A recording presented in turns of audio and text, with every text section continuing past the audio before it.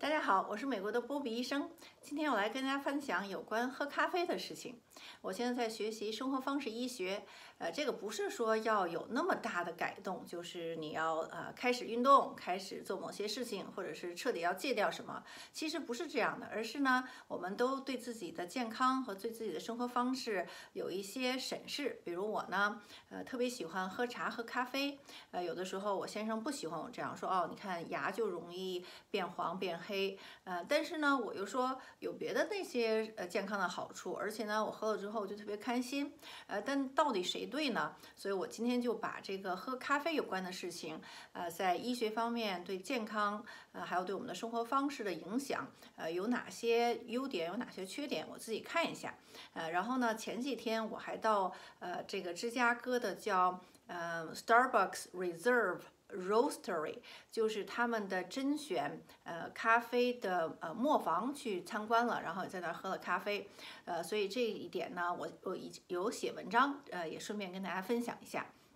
咖啡这实际上是这样的，呃，咖啡主要是咖啡因，呃，但是除掉咖啡因之外呢，还有很多的呃抗氧化剂，这也是呃咖啡因呃对我们能够提神儿之外的那些额外的好处。呃，咖啡因含有含咖啡因的饮料呢，在西方欧洲、美国呀，主要是这个咖啡，但是在东方国家，比如中国啊、日本，茶叶非常好。呃，我是这么想的，我觉得。既然我一直生活在美国，所以我呃还是要适应我自己本身，嗯，在中国长大有这个喝茶的文化，呃，但是呢也要适应本地，也开始过去十多年，嗯，都已经开始有了喝咖啡的习惯。我一般是每天早上一杯咖啡，然后晚上回家以后就喝叶子的热茶了。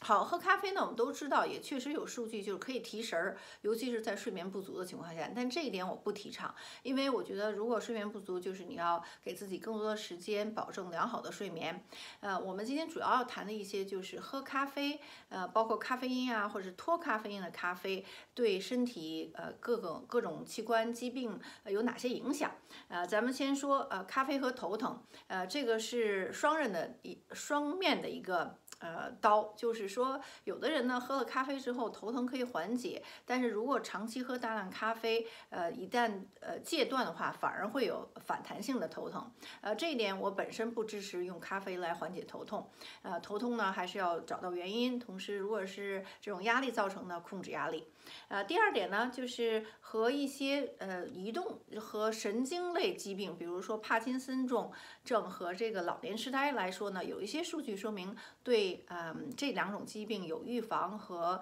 降低它的风险的好处，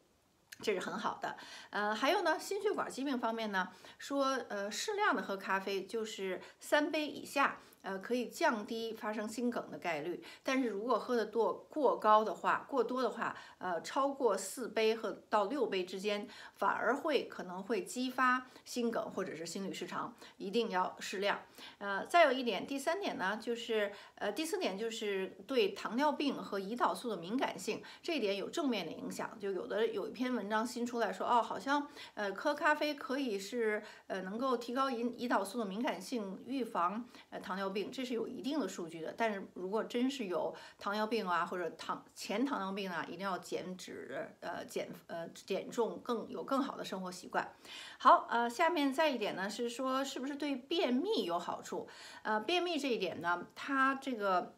呃，咖啡因呃能够刺激平滑肌的运动，呃，就是包括我们肠道上这些平滑肌，肠道蠕动就会好一些。呃，所以如果有便秘的情况的朋友呢，可以早上起来就喝一杯空，呃，吃饭也好啊，或者是空腹喝一杯咖啡。